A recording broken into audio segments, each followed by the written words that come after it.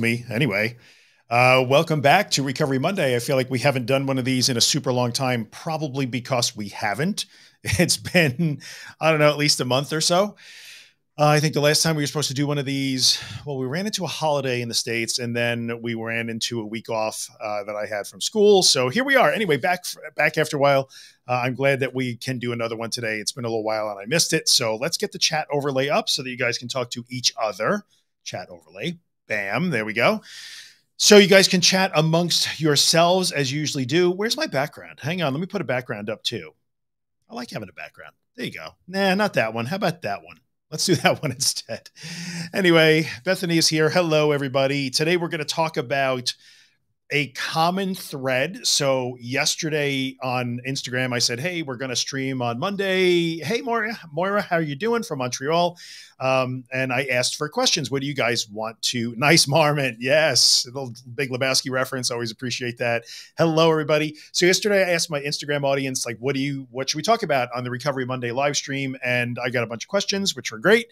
And a lot of those questions were the same question, just phrased in different ways. There's a common theme, and that theme is generally like, what about if this makes me worse? And uh, we'll talk about that because it actually expresses in a bunch of different ways. And uh, we're going to attack the idea of what worse even means. Like, what does it mean if it gets worse? Like, what are we actually after in recovery? Uh, why are we actually even using terms like worse? Uh, does that imply that we're trying to definitely get rid of it, and uh, but instead it might make it worse? So we're going to talk about all those things, right? And let's see who's here. Aurora is here. Hello, Aurora. Not feeling anxious, but don't want to go to a drive for a drive because I know it will make me anxious. Okay, well, I mean, you probably know what to do with that then for sure. Hello, Penelope Crucify. It's been a long time. How are you? Um, Katya's here from Russia. Hello, Melanie. First time that you made a live. Congratulations. Glad to see that you're here. Fellow Long Islander Christine is here. Hello, Barbara. How's it going? Let me look at the chat in, in the window here. There we go. Now I can see everybody. So uh, let's get into it, right? So usually I, I yak at you guys for a little while and then we can do questions and comments and that sort of stuff. So let's talk about that fear that this, and I put this in like asterisk or air quotes, insert your fear here, like whatever it happens to be. What if this thing makes my anxiety worse? And um, in this situation, we can look at a couple of different things. What if doing the exposure makes my anxiety worse? If I go toward what I fear, or if I go, uh, you know, and face my fear, what if it makes the anxiety worse? What if talking about anxiety makes my anxiety worse? So one person said, "How how do I know if I should continue therapy because I'm not feeling so anxious, but maybe talking about anxiety will make me feel worse."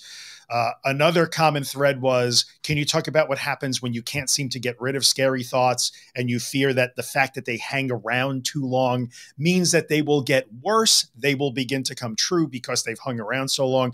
So there's a ton of different uh, sort of variations on this theme. And the common theme is that you have the belief, which is really the doubt that anxiety will put in your head, that if the state changes or your experience changes in some ways, you will not be able to handle it. It will overtake you. It will overwhelm you. It will break you. It will cause some catastrophic feared actual outcome.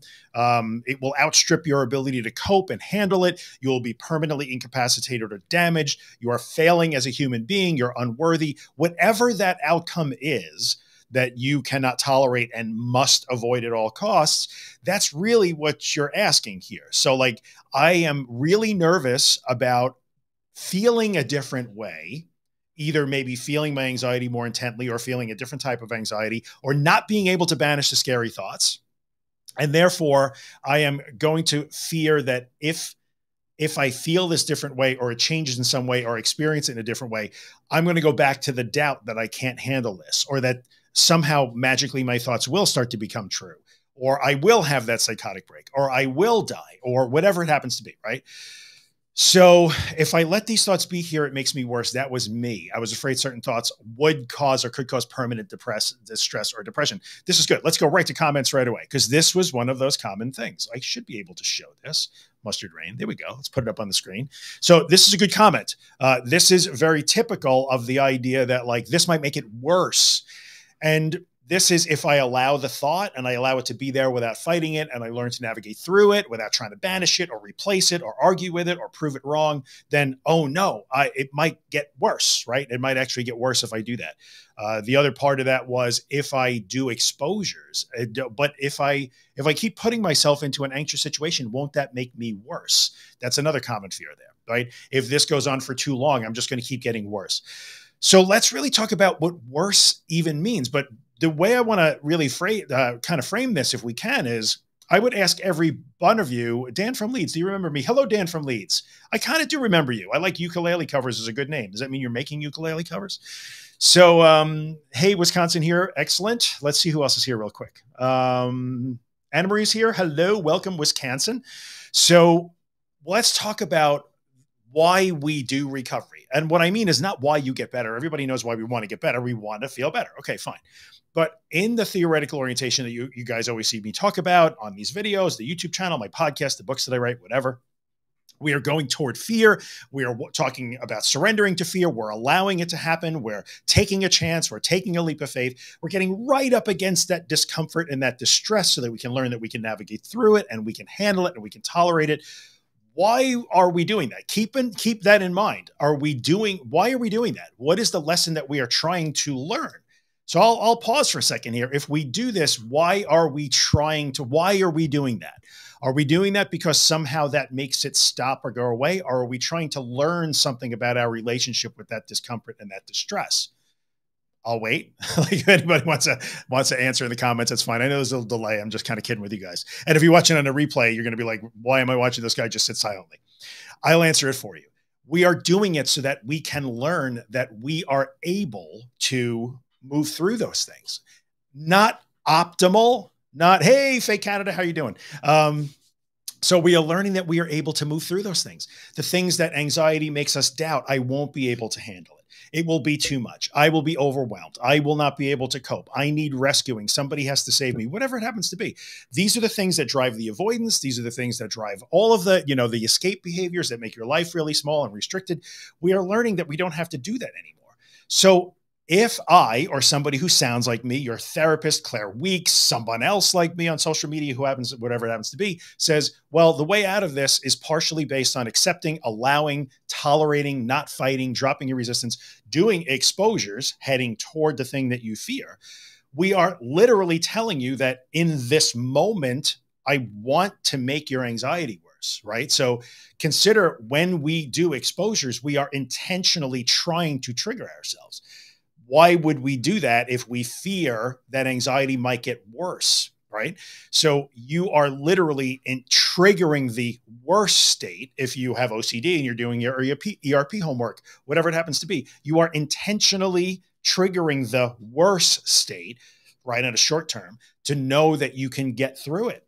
So it's not that we should have a fear that it will get worse we almost need to experience that worst that it can be to understand that, like, oh, look, I can handle that. I don't like it. It's really hard to handle it. I still feel really afraid. I still am full with full of doubt, especially in the beginning when you do this. But over time, those experiences teach us that, like, oh, my estimation of the threat was off. It, it isn't as much of a threat as it as I thought it was. I can't just decide not to care about how I feel, but I can learn over time through these experiences, moving through the worse, air quotes worse, that I don't have to care about it as much. I can't just decide to not be afraid, but I can learn through the experience of moving through the worse that I don't have to be as afraid of it as I used to be. So over time, our sense of self efficacy changes, our feelings of competence, yes, I can handle this, start to change. Our confidence, yes, it lags, but it does grow over time. And our assessment of the threat in terms of our thoughts, the physical sensations, just the feeling of agitation, the anxiety state itself, our assessment of that threat begins to lower. So we invite worse so that it can teach us a lesson. So when you say, Will this make me worse? Well, the short answer is doing an exposure will make you worse for the duration of that exposure. That's true. Uh, talking about anxiety might trigger you and you might feel worse in that moment. That's true. But we are practicing being triggered. Where what do we do when triggered? Now, let me clarify that This does not mean that you have to talk about anxiety and hear and read anxiety stories and read anxiety forums and scroll Instagram about anxiety all day long. That is not what I'm saying at all. But any situation where you feel like I probably shouldn't do that because it will change the way I feel or make me feel more intensely, and I can't have that because I can't handle it. It's too scary and I won't be able to cope. That's that's a miscalculation there, right? So, this is where things always get difficult, and I hate having to deliver this message. But the idea that I am afraid that this thing will make me worse, I would say that it's really the life math that you do that leads you to the conclusion that includes the word worse, leads you to the conclusion of worse is faulty. So, worse just means I will feel things that I don't want to feel. And really, what I'm trying to do here is I listen to this guy every other Monday, or I listen to his podcast, or read his books. I'm really hoping to learn how to not feel these things anymore. So if I do feel them, I'm going to raise the white flag, call it all over, say I'm back to square one, all bets are off. This is ruined. I'm feeling things again. And look, it means I'm worse. No, it just means you're feeling things more. And often, when you take this approach to an anxiety disorder, you will, in fact, feel things more even going back to Claire Weekes, she alluded to worse before better.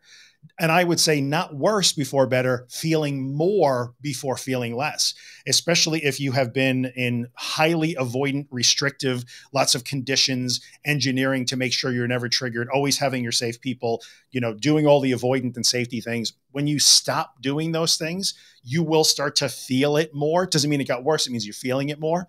And the propensity in this community is to equate more feeling or intense feeling with worsening of the condition.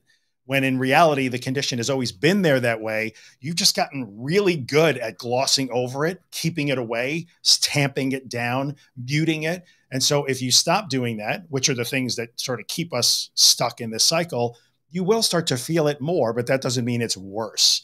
So you really have to go hard and challenge the idea that I can get worse, right? That's it's important that we really define that. I would ask you, what does it mean if you get worse? Now, listening to the last my last 12 minutes of rambling, what would it mean to you? And you could throw it in the comments for sure.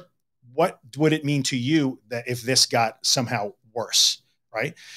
So let me uh let's pop over here for a second here and let's put this back. Oh, we're gonna go to comments. Who cares?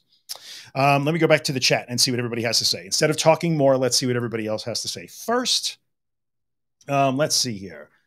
It has. I'm doing okay. All right. Penelope Crucify is actually doing better these days. I love to hear it. Excellent. I'm here to watch you watch the comments. It's very exciting. Very. Um, let's see. Or if I let the thoughts be here, it makes me worse. Was me. Yep. I was the bus dude on Disordered. Oh, I love it. oh, Dan from Leeds. It's so funny, dude, because so Dan sent in a, a, did it anyway to Disordered, the podcast I do with Josh Fletcher, and we played it on the air. And literally, I think one or two episodes later, I don't know if it's come out yet, we literally called it the Dan episode. So congratulations, you're famous. Uh, and we laughed about it too, like, oh, it's the Dan episode. Anyway, um, good job, brother. Mike says six weeks of no reassurance, living my life as a non-disordered person, very hard. Um, I gotta kill that. I should have gone to do not disturb. Um, six weeks of no reassurance. Let's put this up. This is a big deal because I know this is a very big deal for our friend Mike. Uh, six weeks of no reassurance, living my life as a non-disordered person, very hard, but I'm I'm already feeling results. I feel stronger. And this is a perfect example of worse. Like I took away all the reassurance and all the, eh, you know, am I okay? Save me, coddle me, make me feel better. Probably felt a lot worse, right? Mike would probably say, well, I feel worse now. Well, you feel more. But over time, he's starting to build that feeling that, like, oh, I'm strong enough to handle this. I didn't think I was, but the experience is really hard, but it's teaching me that I, I can handle this. So we kind of need the worse. I hate that. Um, fear of worse is just trying to find meaning when there is no real meaning. Okay, that's a little esoteric. Let's get into this a little bit. It's just trying to find meaning when there is no real meaning. Well, you would say that anxious people tend to want to make meaning out of the way they feel. And probably people in general, not just anxious people, we want to make meaning. Clearly, we're meaning making machines. People that are dealing are in the grips of disordered anxiety really, really, really need a meaning to that. It's a signal, it's a sign, it's my intuition, it's the universe telling me something, it's an omen that something bad is going to happen. It means there's something physically wrong with me. It means I'm never going to get better. We try to find meaning. So it means, and, and, in an excessive way, in an urgent, frantic way, it means that any change of state it is interpreted as things like worse. So you're right to a certain extent. I appreciate that. Uh, let's see here. Anna Ray from Long Island, another fellow Long Islander. Welcome, Strong Island representing. How cringy is that? Strong Island. We say it. What can I tell you? Um, Mia Voss. I'm gonna put Mia Voss up on the screen. He's been running around. I haven't talked to my friend Mia in like two weeks now. It's been a long time. Barbara DeDrew. Got to put me on the screen just because it's Mia. Um, Becky says next week I'm attending the same event that I. Ooh, let's put this up. Love it. I'm attending the same event that I had panic attacks all the way through last year, and I'm excited about this. Love this. Love this from our lone Twitch viewer, always Twitch representing. I'm going to say that every week because I never get tired of it. Good job, Beck. Love it. Um, let's see here. I know that especially if you're new. Oh, I forgot to say, if you're in the Facebook group watching, I can't see your name because uh, it only says Facebook user. And I know that some of you are a little bit new and you just want me to talk about the symptom you have. Please tell me how to get over feeling like I can't breathe. Please tell me how to get over feeling dizzy. Please tell me how to get over fear of passing out. They're all the same. I very rarely, rarely will ever give you advice about this particular fear. They're all the same. It's all the same. So, and the way to do that is to go ahead and allow yourself. I know that sounds crazy, but you're going to say, wait, I have to allow myself to pass out? No, you just have to stop acting as if that feeling is real or, or valid or true. The feeling is valid. It's just not based on any sort of reality. And like, I'm going to have to take a chance to see if I actually do pass out. Like, I can handle all of this. So um, I'm sorry. I'm just, I'm never going to really address. Please tell me how to fix this particular symptom. Um, let's see here. That's all right. Okay, let's pop this up on the screen. Hello, Charlie. Uh, I struggle to get triggered with exposures. Everybody does. Like, so don't judge yourself harshly for this. Ain't a person in the room that can't wait to go and trigger themselves. Like, it's it. This is one of the things that makes this such an effective way to deal with anxiety disorders, but a difficult way. Like, these are not like really complicated concepts. It's a simple plan, it's a simple idea. It's really hard to execute because of this exact thing, which is almost universal. Like no human being wants to choose to be triggered. So it's okay. And what I also say to that is everybody gets to that point in their own time in their own way.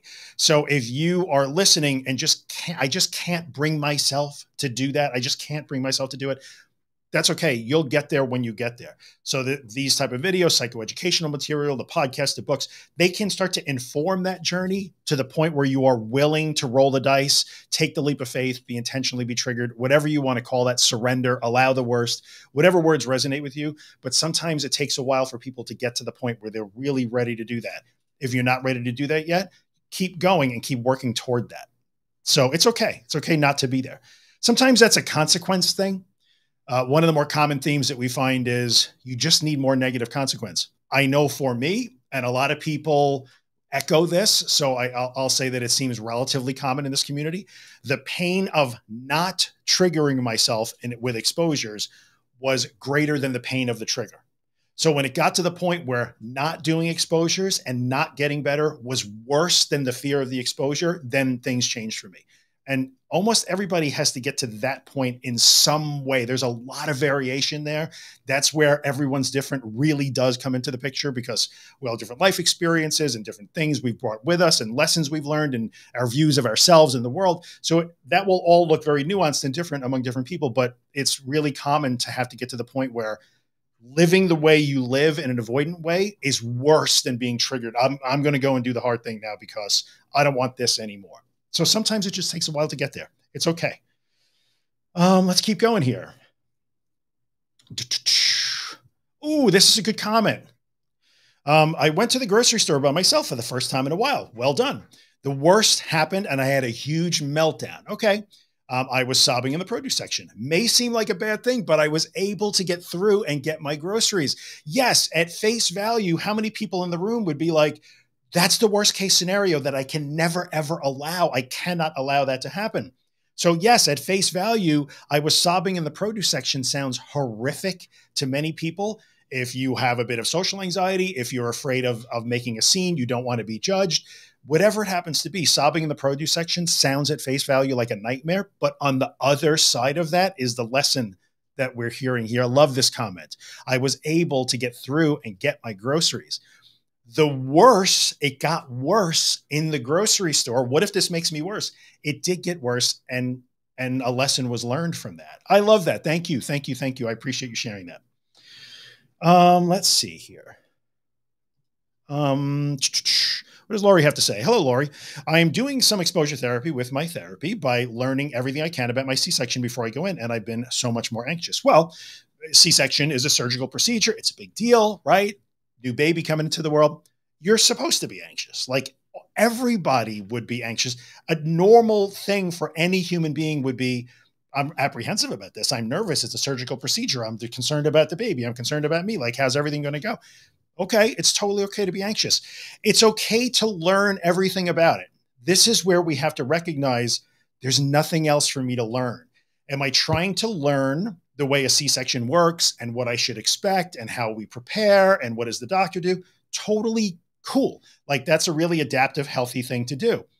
When you keep going back for more information because you're not looking to learn, you're looking to get a 100% guarantee of the outcome, that's when you have to recognize I'm fueling my anxiety because I'm frantically looking for more and more information. But what I'm really looking for is a guarantee of the outcome that I can never, ever get. And since I don't get it, I get even amped up even more. So recognize that you're going to be apprehensive about that because why wouldn't you be? Of course. But also recognize when the obsessive, never ending need to guarantee an outcome by Googling and searching and reading and researching is making things worse. I've I've learned as much as I can. I can incorporate that. I can make a plan to prepare, be ready, and then I'm just going to have to allow myself to be nervous about this upcoming procedure, which would make anybody nervous. You're allowed to be nervous. It's okay. Be nice to yourself. You don't have to engineer away all of the anxiety or the apprehension, right? Important. She also said to do the exposures when I'm calm and I never feel fully calm. Okay, well, so you're working with a therapist. You might want just bring what I said to your therapist because in this situation, I should have read the second comment. I'm really sorry, Lori. I don't. I'm not going to like counteract what your therapist said uh, on YouTube. I don't know you. Your therapist does. So just talk about maybe bring it to the next session and see. Um, and I never fully feel calm. You're not going to fully feel calm. So say that it's okay. Tell your therapist that I don't feel calm, and do the exposures when I feel calm like but I'm trying to learn that it's okay if I don't feel calm. So anyway, I I, I have to be careful about what I say here. Um, again, I, I am not going to talk about how you stop your symptoms or stop a feeling or stop a thought. Go back and listen to the beginning episodes of the podcast or read the books that I've written. There's a ton of information about that. I know if you're new here, you're hoping that I'm going to tell you how to stop a feeling or stop a thought or stop a fear. It doesn't work that way. Try and uh, access the rest of the information. You'll see how that does. Um, cool. I don't know. Sorry, I don't see your name because you're in the Facebook group. Caffeine exposure done. Love it. Sometimes caffeine, alcohol are exposures for people. Good job. Um, let's see here. I fainted at a job interview from a panic attack. So I'm a bit on edge now. So the way that there's two reasons that people might faint during a panic attack. One is you hyperventilated and fainted, which is can happen. So if you are holding your breath or you are like trying to calm down and you start to get really dizzy and you get tunnel vision and you get tingly and your hands and feet get numb and your lips get numb and then burp, you black out, you hyperventilated yourself into passing out, which does not have to happen if you work on diaphragmatic breathing and you understand how to how to breathe more productively. So that's a skill that you can learn. Or some people are subject to an extreme vasovagal response, which means they are fainters, right? If you have that, if you are a vasovagal person, you know that already, like because maybe Roro has is that person and has discovered that. Unfortunately, that's just the way some people's bodies work. It's not that common, but if you have it, then you already know, and you then you have to just start to accommodate that because there's nothing you can do about that physiology. Um, but passing out during a panic attack, that is not the default. Either you have that, ex- that exaggerated vasovagal response or you are, because your blood pressure is, is up. Um, so it's really hard to pass out when your blood pressure goes up during a panic attack, or you're hyperventilating your way into passing out, which is the more common way to go. Yeah, I have vasovagal syncope. You'll know. Yeah, people who have that already know because those are people who often will faint for happy reasons. Anytime they get agitated or roused emotionally, boom, they faint. It, it's a drag. Like it's really lifestyle impacting. Um, so I'm sorry that it happened. Just recognize the two reasons why it probably happened and be careful about now going into extreme overdrive to try to 100% engineer every variable to ensure it never happens again. That's a trap. That's the disordered anxiety trap. Uh, let's see here. I've read that when you experience this, it's a great opportunity to rewire. Okay. So it's true because when we experience those feelings, it's a great opportunity to rewire your brain as the circuits you are trying to change are now available to you. Yes, you cannot rewire the lower part of your brain unless it is activated. This is why you hear me and other people like me say all the time you can look at all the inspirational memes in the world. You can discuss anxiety until you're blue in the face. You could read every word of every book I ever write or have written. You can listen to every podcast, watch every video. But until you feed your limbic system different experiences while it's activated, it, it, tends to fall on deaf ears because that part of your brain is not even listening. It's not open to anything unless it's online and activated. So that's true. We kind of need to do our work when we are triggered. Waiting to feel calm to, to go toward the fear, it's better than not going toward the fear, but it's really the most the most valuable experiences and the most forward progress comes on the days when you feel the worst and act anyway. Think about that. Um, let's see here. Me too, Becky. I would have to echo this. I'm so happy for everyone who is doing the hard things and get to brag about it. I love when you guys get to brag about it, and you totally should brag about it. There you go. This is a thing uh, you just have to believe I can overcome this. Well, you won't believe it though until you do it. Two things that I say all the time you won't you don't believe it until after you do it and you never get it until after you do it. So the two things that i see people get stuck on are that if i could just believe it then i would go and do my exposures. Then i would then i would take the leap of faith. Then i would surrender. But you don't believe it until after you have the experience which is a crappy deal but it's a deal we have. And if I, i'm just trying to find i'm going to read that one more book or let me ask the question again for the 18th time maybe this time I'll hear the thing that makes it click in my brain so I get it and then I'll start to recover. You don't get it until after you do it. This is almost entirely experiential. Now, psychoeducation, learning, framing, talking can inform the leap of faith, but you don't understand until you leap. It's, I hate saying that, but you will never gain a level of understanding or belief that you get an after the activity, after the experience. That's when the belief starts to get built. And that's when the understanding goes up a, a notch, many notches. So you have to act even though you don't believe it.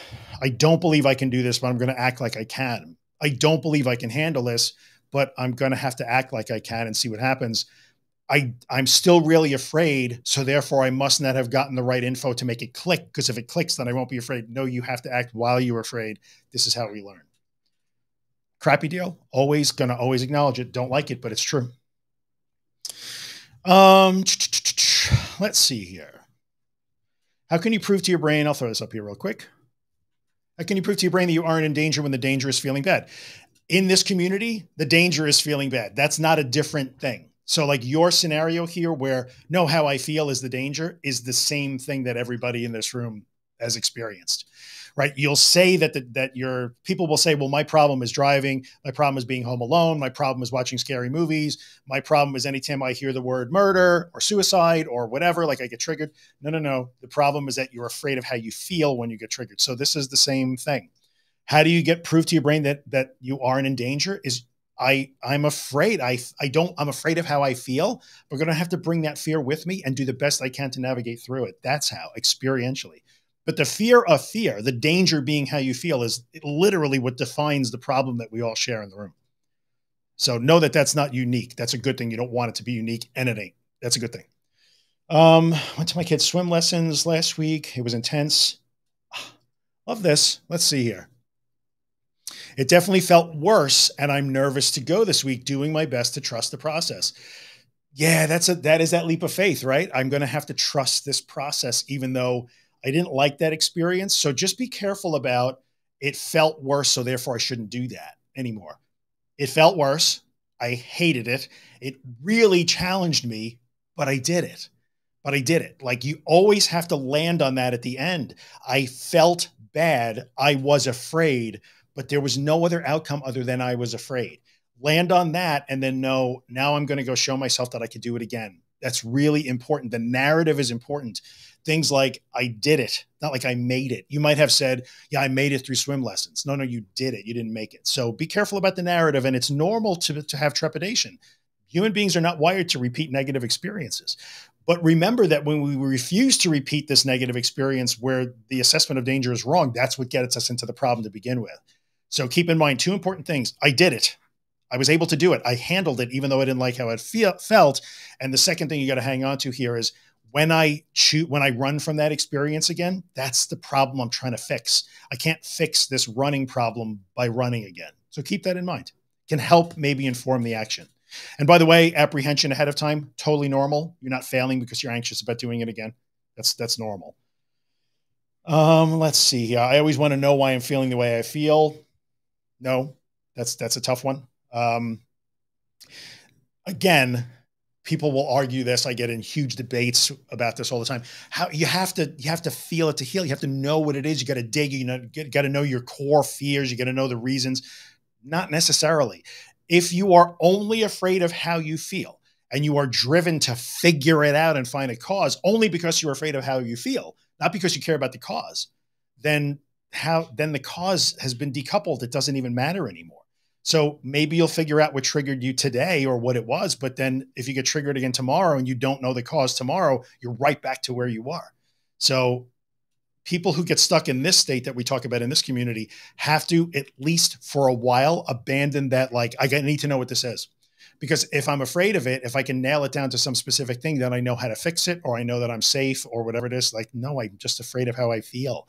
I think things that disturb me and now i got to figure out those thoughts. Be careful um trying not to white knuckle it very hard vicky another long islander we are we are strong island representing in a big way today. More Long Islanders and Twitchers in the room. How do you like that? Um, trying not to white knuckle it is really hard. The white, the resisting, hanging on like hot death. That's what we call white knuckling. Um, that's it's really hard to drop that little bit at a time, little bit at a time.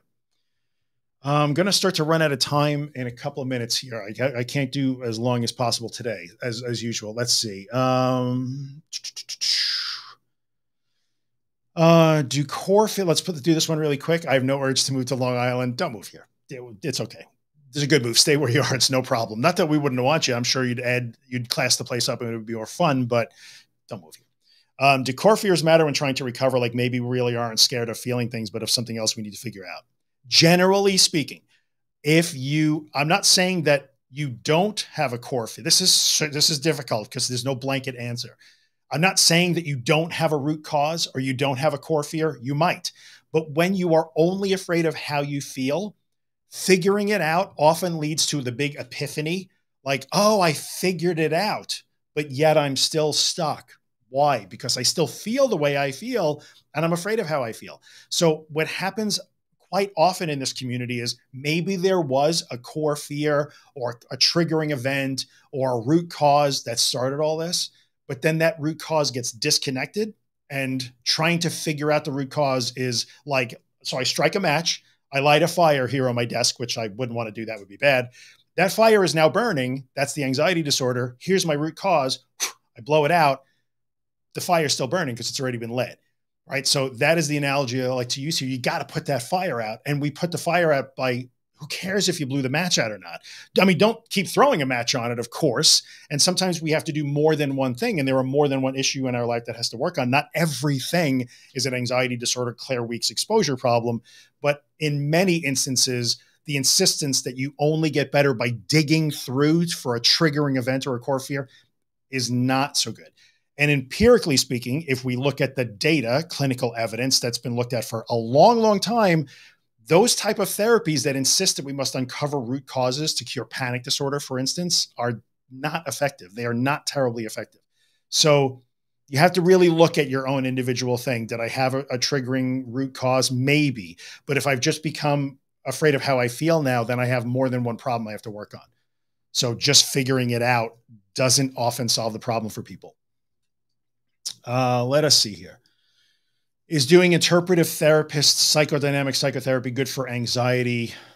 Generally speaking, no. Um, but again, this is very, very individual. I do not know you and do not know your problem. The, the gold standard treatments for anxiety disorders like agoraphobia, panic disorder, OCD, health anxiety is our cognitive behavioral exposure based acceptance type therapies.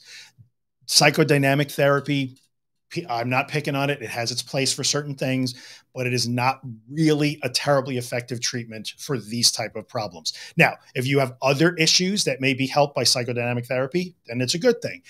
But for this, it wouldn't be the go-to, right? Um, again, I can't say for sure. I'm giving you a very broad generalization. So I would ask your therapist that.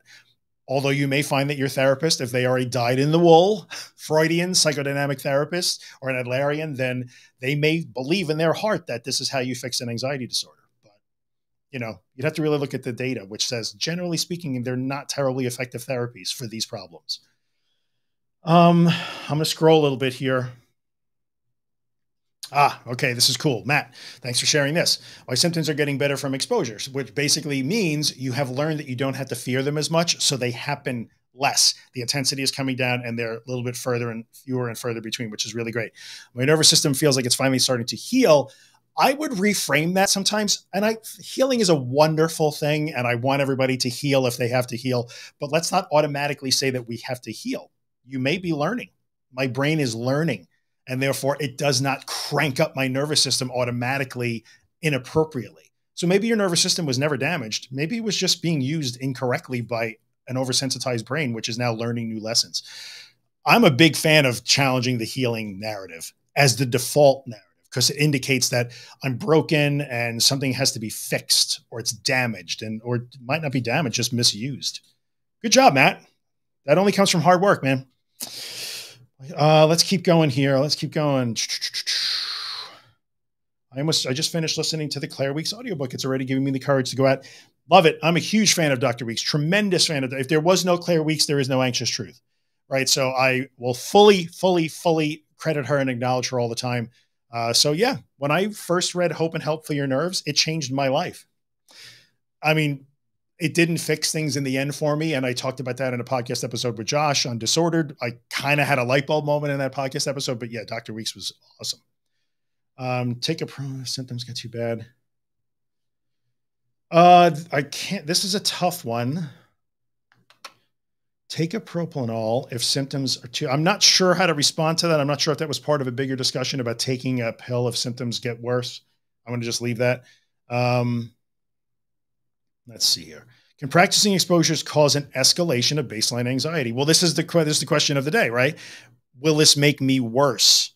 It seems to be getting worse the more I do exposures. No, eh, you're probably feeling it more. So if you again think about it this way, it's the if I am afraid of the water, if I want to learn how to swim, I'm desperate to learn how to swim. I, I, I haven't used my pool analogy in a long time. I'm desperate to learn how to swim. All I want in the world is learn how to swim, but I also don't like being wet. So what I, I spend all of my time trying to make sure I never get wet while I still want to learn how to swim. And then one day I decide I really, really, really want to learn how to swim. And I go to take a swimming lesson I jump in the pool. I'm wet. And so I jump out of the pool and I declare, this is not working because I'm wet. Can you finish that right in your head? Like do the math there. So it's like saying the old pool analogy says bethany i haven't brought this one in a long time but i think it's an accurate analogy. Like if you decide i really want to learn how to swim and you jump in the water then it's really hard to say we got a problem here because i'm wet. Yeah you've been spending all of your time trying to never get wet and now you decided to jump in the pool to try something new. So of course you're wet. Is that worse? No it's different. Let's see. Um, sometimes there is no meaning. My brain misfired the fight or flight response. True true true uh, anybody needing inspiration? Darkness by Peter Gabriel. Peter Gabriel reference. Gen X kick, ch- checking in. Love it. Um, I'm a fan of all of that stuff. So Peter Gabriel at, live at my university a while ago. Again, the gray beard. Good show. He was really great. Um, I'm about to go to the airport for one hour flight, dreading it, but trying to stay positive. Well, it's okay. Like recognize I'm really, it's a challenging situation for me. So I'm having a lot of apprehension here. I'm feeling anxious about it as I would expect to be, and I will not judge myself negatively for being anxious. I'm supposed to be anxious now. I'll move through it as best I can. Hang in there. Let's see. Da, da, da, this is the second best life. I, I, Jenna talks about it. Jenna Overbaugh is the one that introduced me to second best life, and I don't know. I, I you know, I think it, it may have been Jonathan Grayson, but I'm not hundred percent sure. Second best life was one of the more genius things I've ever heard. And when Jenna, Jenna actually said it on a live that we did together, Jenna Overbaugh, if you guys follow along with Jenna, um, Jenna talked about second best life. Your first best life, let's talk about this for just a quick second. Your first best life is like your fantasy life. So for anybody who's in this room who's dealing with avoidance because of an anxiety disorder or triggers and they, they can't allow these things to happen, you know the deal your fantasy life is I never ever get triggered and I'm never ever anxious and everything just works out exactly the way I needed to because I can't handle anything but that. That's your fantasy life. That's the best possible life. That doesn't exist, right? That that will never ever ever exist for any human being. That's just life and sometimes we run up against almost philosophical things in this game called recovery and that's one of them. Life will challenge you at some point multiple times throughout your life lifetime you will be challenged. The A in acceptance and commitment therapy accept that the human experience includes challenge, adversity, and even suffering. So, since you can't get your first best life, your fantasy life, what about the second best life? And that's what we're learning in recovery. It's a it's awesome. It's such a great concept. I love it because it puts you right up against the reality that like you could try to live a trigger-free life if you want, but you see where that is getting you. So, um, love it. Thank you for bringing that up. It's a really great thing. Um, let me keep going here. The first leap of faith, trying recovery environment. Sure. I've always had a fear of fainting. I've never fainted, but I didn't know I could from hyperventilating. Now triggered. Okay. So now you learned a new thing about fainting. It's okay. Go ahead and be triggered by that. It's, that's okay right? Because just because you didn't know about it doesn't mean it's real. Yeah, people can hyperventilate themselves into fainting. That's true. If you have never fainted, it means it's not happening to you and you're not hyperventilating your way through. So go ahead and be triggered and see how you work through that. It's okay to be triggered. This is practice, right? Um, I'm gonna. I'm kind of out of time, guys. So let me see what else I have. I didn't even get even close to it. Um, let's keep going here. Stopping halfway. Ooh, let's put this up here really quick. This is good. I watch YouTube vids for my health anxiety, watching people face what I feared. Key was to turn the video off halfway. So there was no resolution. I'm not going to hear anything better than that today. That is outstanding. In fact, I see Bethany even said that too. I love that idea. There was no resolution because I watched to the end to make sure the person was okay because I need to feel like I'm going to be okay, but I don't know if I'm going to be okay there's uncertainty in life is all around us, right? So that's another one of those philosophical things. Life is going to challenge you with adversity and and challenges and even suffering sometimes. And uncertainty in life, the fact that all of life is uncertainty is one of those like smacks in the face that we have to get to here. So uh, there you go. Um, symptoms that grip triggering health anxiety should I just accept them and carry on, not let them shape my day? With health anxiety, you're you're so when we talk about things like panic disorder and agoraphobia, we are basically trying to do things to intentionally trigger ourselves so that we can work through those triggers. With things like health anxiety, you don't have to do anything. You're just automatically triggered by things you hear or just your thoughts. And your job is to not not do things. I'm not going to stop dead in my tracks in Google. I'm not going to look in the mirror. I'm not going to take pictures of myself. I'm not going to ask my partner if I look pale. I'm not going to research cancer for the 17,000th time. I'm not going to do those things. I'm going to bring that trigger with me. Very, very broad generalization with health anxiety. Yeah. Um, really good though. I love the halfway thing. Yeah, Christina likes it too. I like that YouTube exercise. I'm do, I'm going to do that in my health anxiety recovery. Sure, because in the end, health anxiety, which is kind of really so close to OCD at this point, that uncertainty will always whisper in your ear. It's possible that I'm not okay. Like if I fear getting cancer, it is it is in fact possible that I have cancer right me. Talking about me, like specifically me it is possible that I right now have cancer and don't know it. That is, in fact, a possibility.